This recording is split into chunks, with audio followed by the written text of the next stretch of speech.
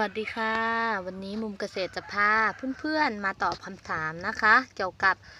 การปลูกตอผิดด้านนะคะ จะเกิดอะไรขึ้นนะคะ แล้วก็จะแก้ไขยังไงนะคะ ทีนี้วันนี้มุมเกษตรมีตัวอย่างต้อนะคะ ที่ปักผิดด้านนะคะ เป็นระยะเวลา 6 เดือนนะคะ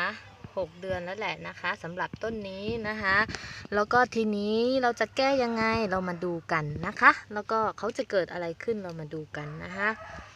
การที่เราปักตอผิดด้านเนี่ยอันดับแรกเลยนะคะที่เขาจะเกิดขึ้นก็คือเขาจะแตกหน่อช้านะคะเพื่อนๆเขาไปหมดแล้วเราตัดไปสองสามรอบแล้วเขาก็ยังไม่แตกหน่อสักทีหนึ่งแบบนี้เนี่ยเพื่อนๆเดาได้เลยนะคะว่าปักตอผิดด้านนะคะ แล้วเราควรจะทำยังไงนะคะ ถ้าเรารู้ตัวก่อนนะคะ เราก็ควรที่จะดึงออกมาแล้วก็ปักให้เขาถูกด้านนะคะ แต่ถ้าเราไม่รู้ตัวนะคะกว่าที่เราจะรู้ตัวอีกทีนึงก็คือตอของเขาเนี่ยก็จะงอกอ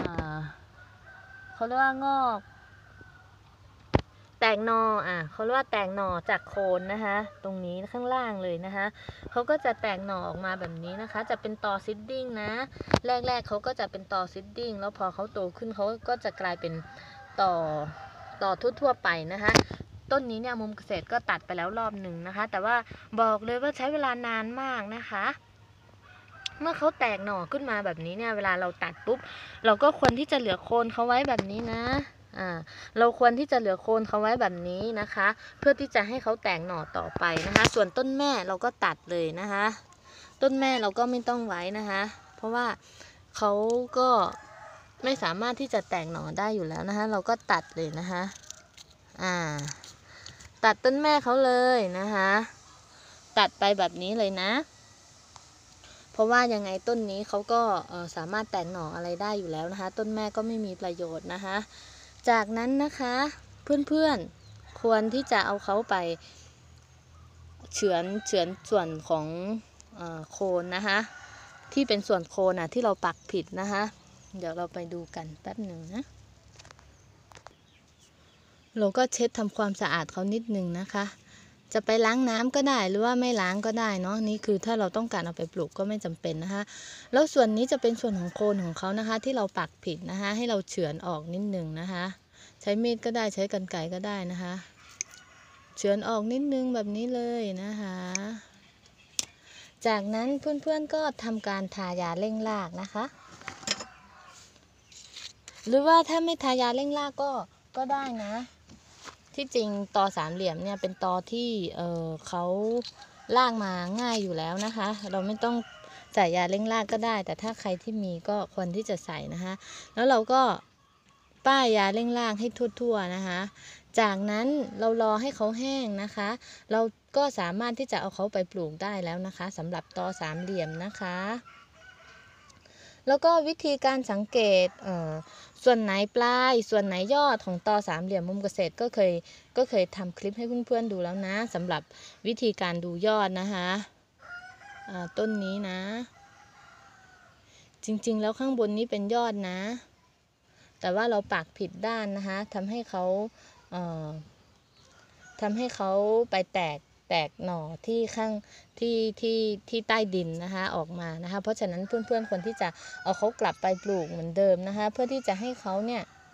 สามารถที่จะแตกหน่อได้นะคะ อย่างถูกต้องนะคะ ถ้าถ้าเราปลูกถูกด้านเนี่ยหน่อเขาจะมาไวนะคะ แต่ถ้าเราปลูกผิดด้านก็คือกว่าเขาจะมาก็คือใช้เวลานาน เพราะว่ากว่าที่ส่วนยอดของเขาเนี่ยจะมีรากได้รากของเขาเนี่ยก็คือต้องคือต้องแบบ ไม่รู้ว่าต้องใช้เวลานานมากเลยค่ะ กว่าเขาจะมีรากแล้วก็แตกแตกแตกแตกยอดออกมานะคะ เพราะว่ามุมเกษตรเนี่ยปลูกผิดด้านหลาย ๆ ตอเลยนะคะ โดยเฉพาะช่วงใหม่ ๆ ที่เลี้ยงตอสามเหลี่ยมนะคะ ก็คือเราปลูกผิดด้าน เพราะว่าเรายังดูไม่เป็นไงว่าด้านไหน ด้านไหนปลายด้านไหนโคนนะคะ เพราะฉะนั้นเพื่อนๆก็